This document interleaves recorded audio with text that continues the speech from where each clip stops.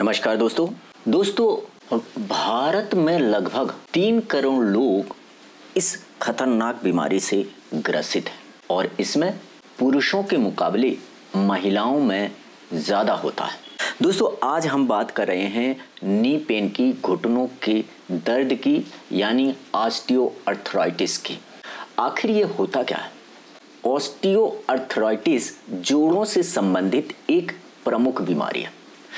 शरीर में जहाँ दो हड्डियाँ आपस में जुड़ती हैं, उसे ज्वाइंट यानी जोड़ कहते हैं। हड्डियों के अंतिम हिस्से को सुरक्षित रखने के लिए एक प्रोजेक्टिव टिश्यू होता है, जिसे कार्टिलेज कहते हैं। जब किसी कारण से कार्टिलेज टूट जाता है या उसमें दरार पड़ जाती है तो इसके कारण हड्डियाँ आपस में रगड़ खाती हैं। नतीजन क्या होता है? दर्द होता है। अकड़न होती है और अन्य समस्याएँ पैदा होती हैं। इस स्थिति को ऑस्टियो कहते हैं। वैसे तो यह समस्या किसी को भी हो सकती है, लेकिन आमतौर पर यह उम्र दराज, यानी जिनकी एज ज़्यादा हो जाती है, आजकल 45 से ऊपर 50 के ऊपर के लोगों को ज़्यादा होती है। तो आज हम इसी बारे में आपको बताएँगे। तो सबसे पहले इसके कारण क्या है? दस मेन कारण बताएँगे जिनके कारण यह होता है यह प्रॉब्लम चालू होती है। सबसे पहले एजिंग यानी उम्र बढ़ना। उम्र बढ़ने के साथ साथ घुटनों में दर्द हो जाता है। जब उम्र बढ़ती है तो उम्र बढ़ने के कारण कारण से क्या होता है कि ये जो घुटने हैं, घुटने में जो लेयर होती है, वह धीरे धीरे क्या हो जाता है? घिस जाता है। कार्टिलेज होता है, जो लेयर होता है, यह क्या होता है? घिस जाता है। और इसमें तो कोई नब्ज होती नहीं है। नब्ज होती है हड्डियों में। और जब ये हड्डियों के जब ये एक दूसरे से टकराते हैं, घिसते हैं, जिसके कारण क्या होता है? दर्द उत्पन्न होता है। तो सबसे पहले कारण क्या है? एजिंग। दूसरा कारण है ओवर यूज़ जब हम घुटनों का ज़्यादा यूज़ करते हैं मतलब हमारा खड़े होने का ज़्यादा काम होता है। ऐसा काम हम जब करते हैं कि हम खड़ा रहना ज़्यादा पड़ता है। चौबीस घंटे में यदि हम आठ घंटे भी अगर खड़े रहते हैं, दस घंटे भी खड़े रहते हैं तो यह हमारे लिए नुकसानदायक होता है। उठने बैठने का ज़्यादा काम करते हैं तो उनको घुटने की प्रॉब्लम ज़्यादा होने लगती है। तीसरा कारण है अंडर यूज़। मतलब एक तो होगा ओवर यूज़ दूसरा होगा अंडर यूज़ यानी कि घुटने का यूज़ ही न करना। कई लोग ऐसे होते हैं जो बैठे ही रहते हैं, लेटे ही रहते हैं। कुछ काम ही नहीं है उनको। हमारे पूरे शरीर के लिए कोई एक्सरसाइज नहीं है, कोई योगा नहीं है, कोई चलना, फिरना, कोई भी शारीरिक गतिविधि ही नहीं है। तो उसके कारण भी क्या होता है कि प्रॉब्लम चालू हो जाती है और उन्हें नी दर्द, घुटने का दर्द होने लगता है। इसके बाद है रिपीटेटेड इंजरी मतलब घुटने में बार बार चोट लगना। चोट लगने से क्या क्या? चोट लगने के कारण क्या होता है कि वो जो कार्टिलेज है, वह टूट जाती है, घिस जाती है। उसमें दरार आ जाती है, जिसके कारण हड्डियाँ क्या होती हैं? फिर हड्डियाँ हड्डियाँ से टकराने लगती हैं। और जब हड्डी हड्डी से टकराएँगे तो नतीजन क्या होगा? दर्द होने लगा। तो दुर्घटना, कोई इंजरी कोई चोट भी इसका कारण हो सकती है। इसके बाद में आता है मोटापा।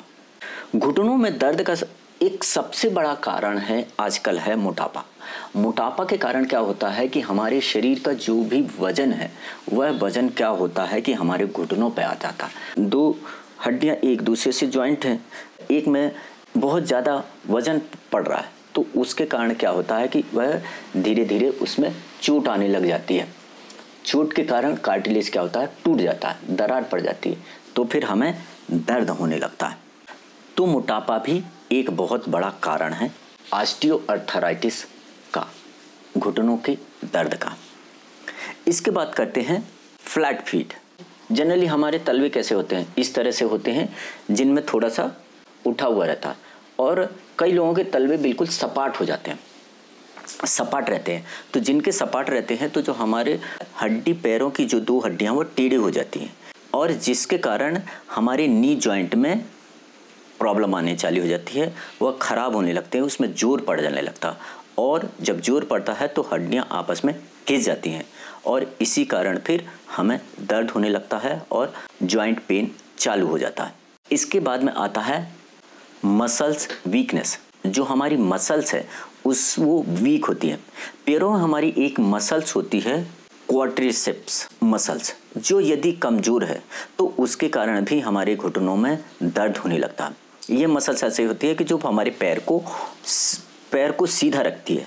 अगर इसी में प्रॉब्लम हो जाती है, ये वीक हो जाती है तो हमें घुटनों में दर्द चालू हो जाता है। Mail alignment. मेल अलाइनमेंट का मतलब होता है जब दो जब दो चीज़ एक दूसरे से जो हड्डियाँ जुड़ती हैं तो ये कभी ऊपर रह जाता है, किसी साइड में झुक जाता है, किसी में, किसी साइड से ऊपर हो जाता है तो उसके कारण क्या होता है कि अलाइनमेंट सही से बैठ नहीं पाता। अब कहीं एक दूसरे से चिपक गया चिपक गया तो जब हम चलेंगे तो क्या होगा कि वह घिसेगा। अब उठ गया है तो उस साइड तो कुछ नहीं हो सकता जिस साइड चिपक गया तो उस तरफ़ क्या है, ज़्यादा ज़ोर लगेगा तो उसके कारण भी नी पेन चालू हो जाता है। इसके बाद में आता है हेरिडिटी। कई लोगों को ये बीमारी मदर से, फादर से भी मिलती है। अगर उनके मदर, फादर को है, यदि उनके घर परिवार में किसी को है तो भी यह बीमारी बच्चों में आ जाती है और यह जल्दी एज में आ जाती है। इसके बाद में एक चीज़ और है, यह बीमारी जो है लेडीज़ों को ज़्यादा खतरनाक होती है। आप देखेंगे कि सेवेंटी और थर्टी का रेसो चलता है। अगर सौ में से सत्तर लेडीज़ मिलेगी आपको और तीस लोग जेंट्स मिलेंगे।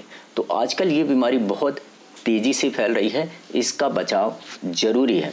करीब करीब अगर हम देखें तो हमारे इंडिया में करीब करीब तीन करोड़ लोग इस बीमारी से ग्रसित हैं। तो दोस्तों, हमें उम्मीद है कि आपको हमारा वीडियो पसंद आया होगा। तो हमारे वीडियो को लाइक करिए, कमेंट्स करिए। यदि आपने अभी तक हमारे चैनल को सब्सक्राइब नहीं किया है तो तुरंत सब्सक्राइब करिए और देखते रहिए हमारा यूट्यूब चैनल। थैंक यू, धन्यवाद।